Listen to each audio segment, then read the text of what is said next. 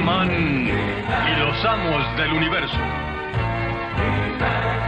Yo soy Adam, príncipe de Eternia y defensor de los secretos del castillo Grayskull.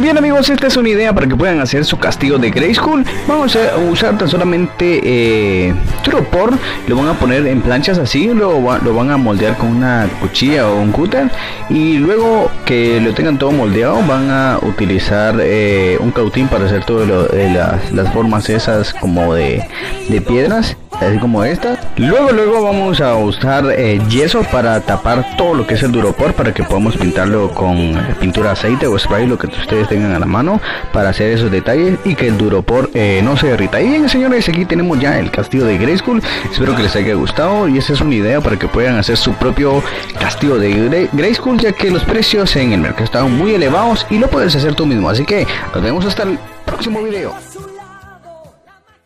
por el poder de Grayskull. Yo soy He-Man.